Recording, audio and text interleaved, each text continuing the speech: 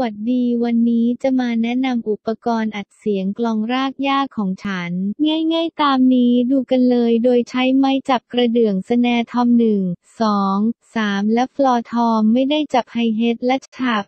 กระเดื่องจับด้านหนังหลัง เพราะหนังหน้ายังไม่ได้เจาะอีอีอีไม้ทอมและกระเดื่องใช้ยี่ห้อวาฟาเดล ไม่สแนใช้ SM 57 จีนแดงตึกโปดโดยต่อสัญญาณไปเข้า mix ปรับโทนเสียงตามชอบแล้วต่อสัญญาณเสียงออกจาก mix ไปเข้า line in ของคอม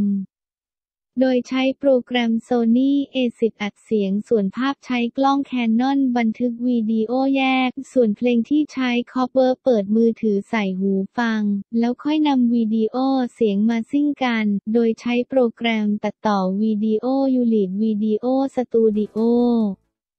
แค่นี้ก็ได้วิดีโอคอปเปอร์กลองแก่วแก่วแววแหววแววแหววแววแหววแววแหววแววแหววแววแหวว